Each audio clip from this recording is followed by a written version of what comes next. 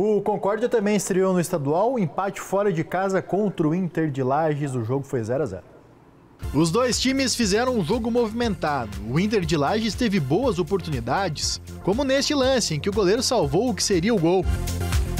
Fávero mandou perto esta outra finalização. E Caleb também assustou o Galo do Oeste. No segundo tempo, o Inter seguiu melhor. Marcelinho chutou de longe, mas parou em Jean Carlos. Já no final, a chance mais clara da partida, e foi do Concórdia. O goleiro saiu mal e João mandou a finalização no travessão. Fim de jogo, 0 a 0 É, Badá, o Concórdia empatou aí, né? Um empatezinho fora de casa. É. Poderia Internacional. ser melhor. Poderia... É, o Inter é, veio motivado porque há cinco anos que não jogava a primeira divisão, então havia um clima de, de motivação lá em Lages.